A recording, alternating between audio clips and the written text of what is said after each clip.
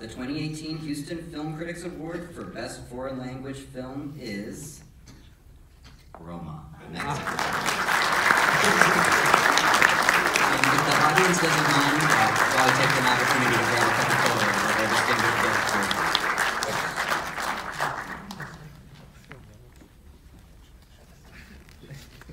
Sorry. Oh, sorry. No. So excited. um, in my in my first uh, lines, in my first very short and humble speech, I referred to the obscurity of silence. Um, but I think silence also also entails endurance, and also entails a specific resistance towards violence, towards the way somebody could be screaming or could be hating. We resist with tranquility. I think that the heritage, the legacy of, of Roma is not only in the depiction of a certain context of, of Mexico during the 60s, and the depiction, very refined and clever the depiction of CIA movement uh, and uh, during the dirty war in Mexico. You know, it, it, it, it not also describes democracy in Mexico as a, as a flower that was, that was blooming.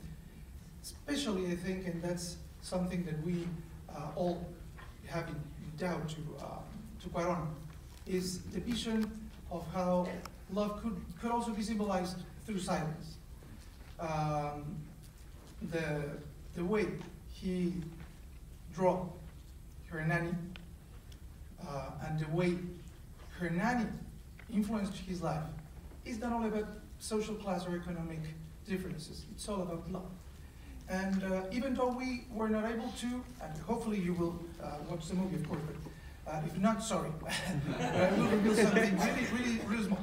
Um, even though we, we had not had the opportunity of listening uh, Cleo's voice, her voice was there in every single act, in the endurance, she uh, she she tailed during you know all the pregnancy and all the life of that little character who was Cuarón in real life.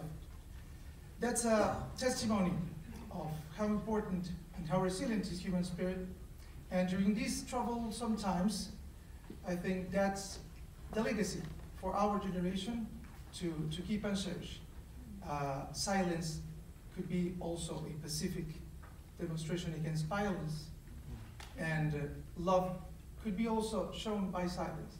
Uh, let's, uh, let's try to love more each other, listening to the others, just uh, hugging each other, uh, in, you know, with the neighbor or with the other countries.